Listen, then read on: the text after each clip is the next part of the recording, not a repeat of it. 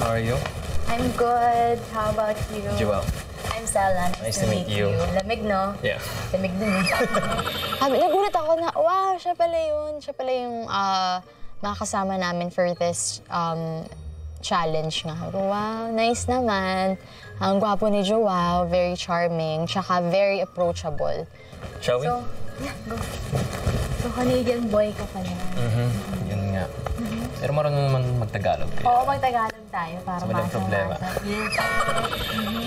Sabi ko, uy, kahit very konyo si Joao, hindi siya like parang, sa, based sa pag-uusap namin, hindi siya like parang hirap pakisamahan. Kasi may mga ibang tao na pag masyadong konyo, hindi ko na alam ko paano makisama. S- Sela was, uh, yeah, it was fun also. Uh, it was my actually first time meeting Sela talaga. Ka-close kasi ka Tristan. Really? Oo. Yes! Ah, kasi dahil Oo, close galing na kami kayo. sa, oo, sa isang Okay. show before sa Paisilo. Okay. Plug natin yun. I used to see her a lot kasi with my uh, co-member dati, si Tristan, kasi nga nag-hosting pala sila. Uh, she's, she's fun to talk to. You know, she, she's not too shy. She's confident in herself. And I like that about her. And then, how'd you, paano ka nakapasok? Oo, Sa galing ako sa. MNL 48. Nung 17 years old ako, nag-audition ako sa MNL. Tapos Okay. after that, ayun, girl group, girl group. Okay. Tapos perform, perform. Parang So at idol- least we have something in common from Yes. boy band to...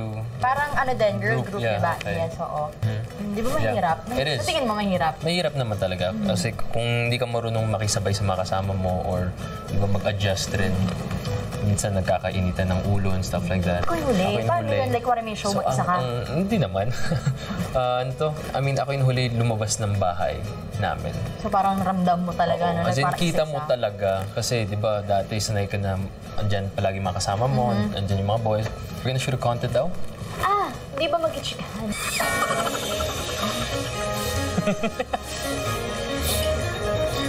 Sobrang disco.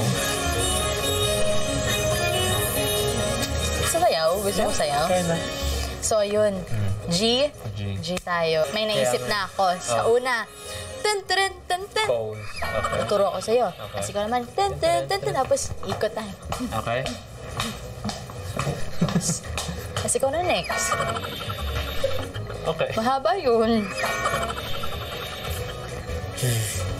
Tapos, tuk.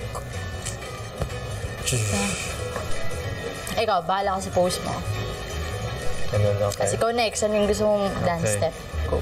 So after pose, yeah, angas lang. Thankfully, very magaan naman yung ah, paggawa namin ni Joao ng content kasi open siya. Kahit very masculine siya, di ba? Like, very cool, ganyan. Open siya dun sa binigay kong idea na since nga galing tayong group, ganyan, di ba? Yung group ko before, medyo cutesy, tapos ikaw, medyo cool kayo.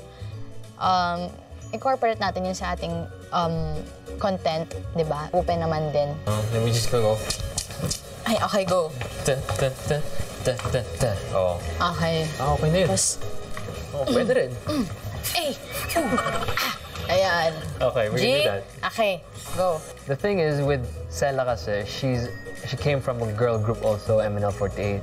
And good thing is we both dance. So it was easy na for us to, to think of a choreo agad. One, two, three, four. We're ready for more.